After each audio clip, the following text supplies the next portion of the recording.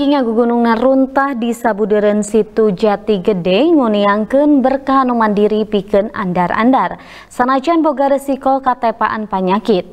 Eta andar-andar teh bangun dari anaker nyiar kipayah di runtah anu ngalayah di eta lalewak. Sanajan kudu nyesep bau runtah anu nyegak.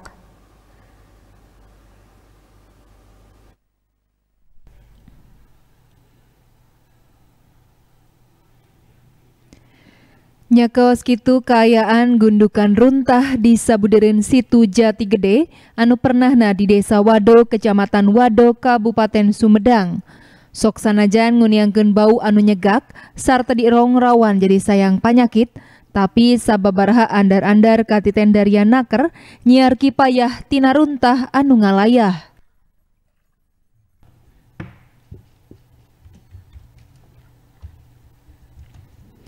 Cek salah seorang andar-andar Johan meh sabulan katompernakeun lelawak di sabuderen situ jati gede di papaesan kuruntah.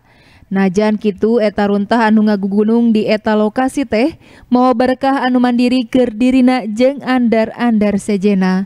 Dinamprona satu tas mulungan serta ngawilah-wilah runtah di eta tempat, hasilna tuluy dijual, sangkan duitna bisa dipakai ke melidahareun ke kabutuh sapopoe kula wargana. Wah ini nih, ini rongsok, ini rongsokan. Ya kapan ya Pak di sini Pak? Uh, udah lumayan ada seminggu lebih. Ya. Emang, emang banyak sampah di Jati Gede apa gimana? Ya lumayan banyak sampah tapi kan karena ada sampah kan kita bisa makan. Oh, gitu ya, kalau nggak ada sampah gini karena kita nggak ada penghasilan.